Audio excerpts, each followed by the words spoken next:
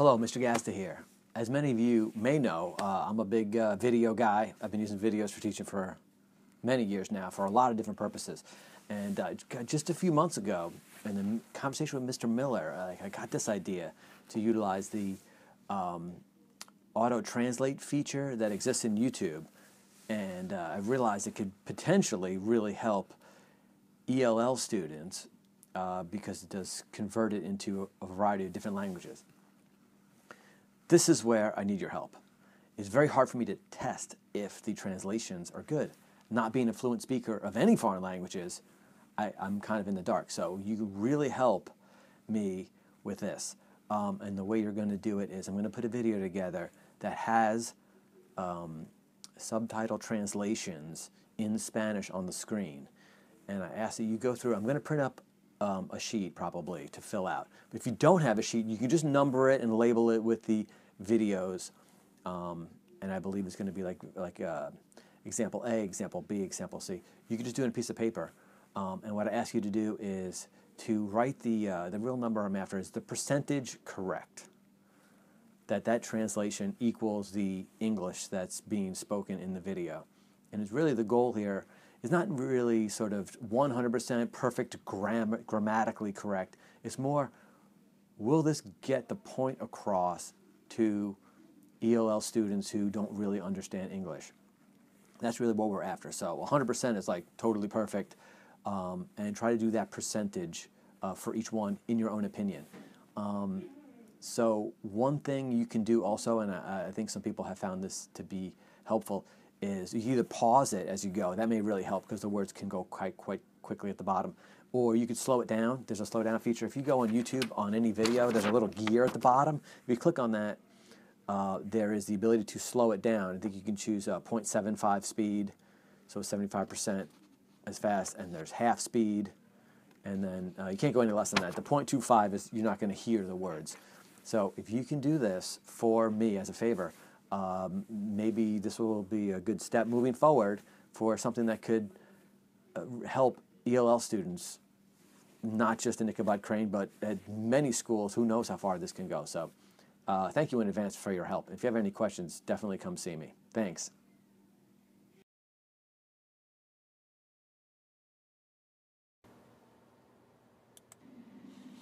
Hello, Mr. Gazda here. Welcome to Mapping Review.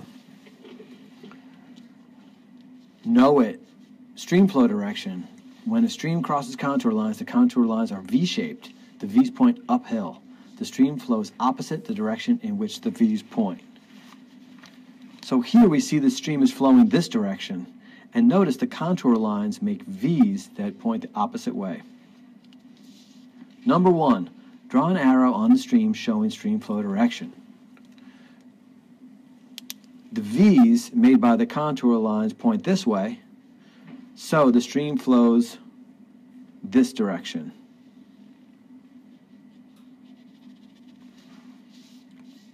Number two, draw an arrow to indicate the direction of stream flow for Hammer Stream. The V's point this way, so the stream flows this direction.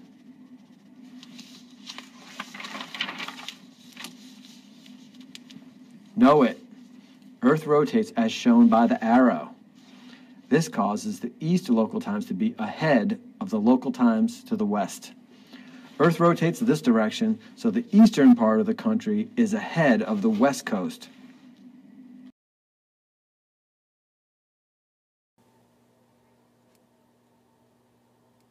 here, Mr. Mahan with another SLJ Living Environment review video. Remember, to keep up on these videos. I'm glad you're here. They're going to help us day by day prepare for that Regents. All right, anyways, here we go. It's chapter 4, and we are overviewing of cells. What's in them? How do they get fed? And by that I mean, how do they like get the nutrients they need to survive? So, if you remember from last night's video, you guys, all living things, all organisms are made up of cells. Everyone every human has over a trillion cells in his or her body, which is totally amazing and totally incredible. What's not so incredible is how cells look underneath a microscope. Pretty boring, just look like a bunch of little squiggles. That's because everything inside a cell is super, super tiny. And we learned that to get a better picture of what's in a cell, you probably need to use either like a really super multi-million dollar microscope or you need to draw an illustration of what's inside it to make it workable. That doesn't mean to see, say you can't see anything using a regular microscope. So if you use a microscope from SLJ, you could, and you were looking at a plant, you could probably get a picture of something like this. So on the outside of the cell, you have the cell membrane. Okay, here we are. Uh, we're about to go on a family vacation. Our bags are all packed. We're going to get on a plane and fly to Seattle in just a, just a little bit. And uh, I'm showing, what I want to show you is this. Take out my bag here. I'm going to show you deodorant. Very exciting, I know. Deodorant is super exciting. Um, and what this is, this is like a um, gel type deodorant.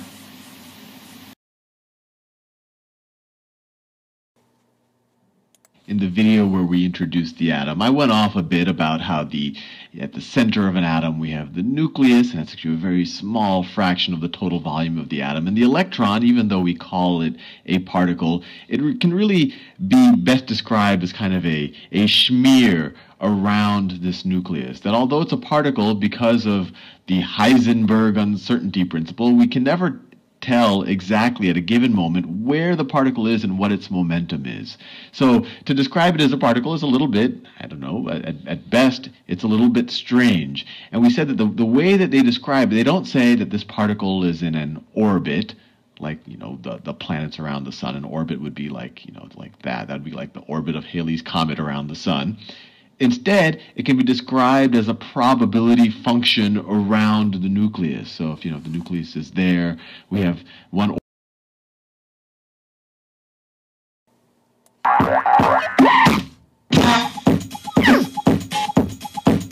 You've probably noticed that we've been talking an awful lot about fractions around here lately. Well, now I'm going to tell you something you can do with fractions that's really easy. No, no, not juggling fractions.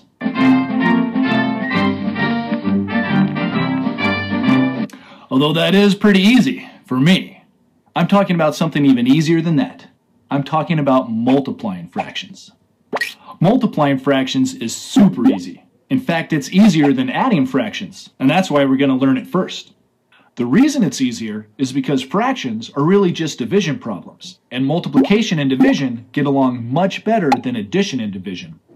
Now, since fractions are division, that means if I have the problem 1 fourth times 2 thirds, it's the same as the problem 1 divided by 4 times 2 divided by 3. That means I have both multiplication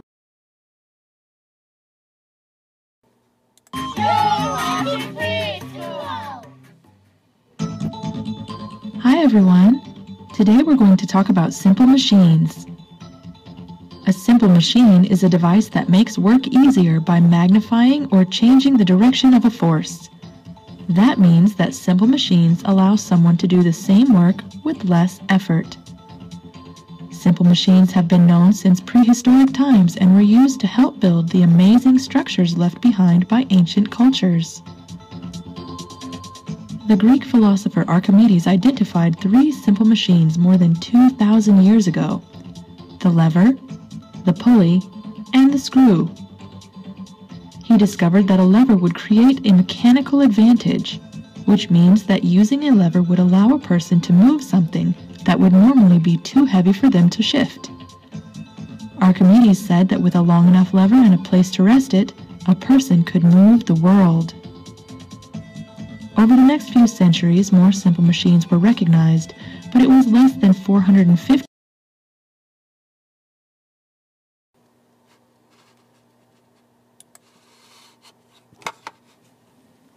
Hello, Mr. Gazda here. And yes, my silhouette does look really weird on the screen, but today we're going to do waterfall formation, how a waterfall forms. So, check it out. Let's say we start here with a, with a bit of a hill. These are uh, three different layers of bedrock. Green, purple, red is what I'm using to show them.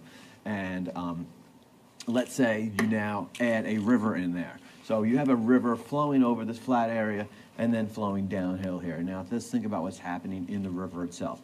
You have uh, pebbles and rocks, rocks the size of my fist or maybe even bigger. They're kind of rolling and skidding along the bottom. They're, they're rubbing against the bedrock itself, causing abrasion, and that's going to be a type of erosion. Uh, you have sand moving along the river, also will be scratching and wearing away, eroding this bedrock.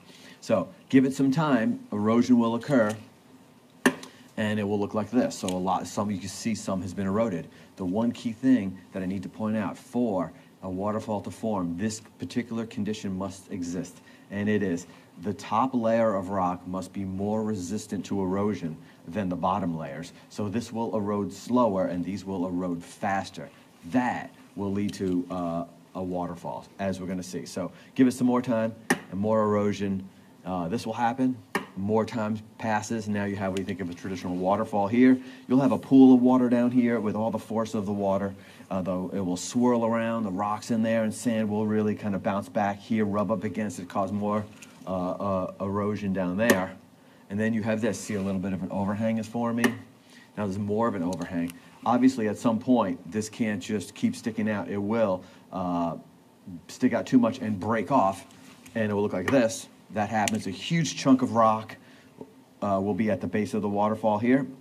We still have that swirling of rock here, eroding these uh, layers there. Then you have that, another overhang. That layer breaks off. And then this will continue as we see here. And you may notice that the waterfall is moving this way. It's retreating. It's re- retreating upstream, and uh, that's what waterfalls do. So I'm going to play this in uh, a bit more sped up to get a good uh, sense of the animation.